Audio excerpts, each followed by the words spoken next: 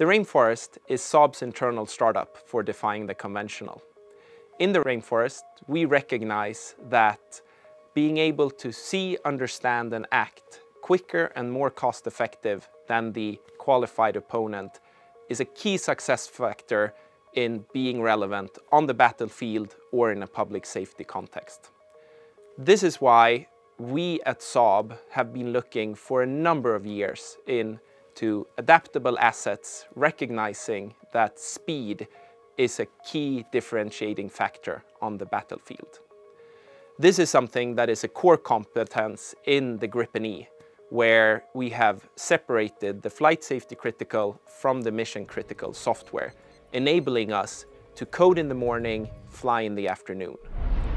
This speed and agility is something that we in the rainforest want to push even further.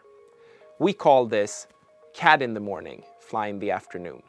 Being able to, exactly as with software, move quickly in adapting hardware solutions, and we believe that will play a key effect in staying relevant on the battlefield.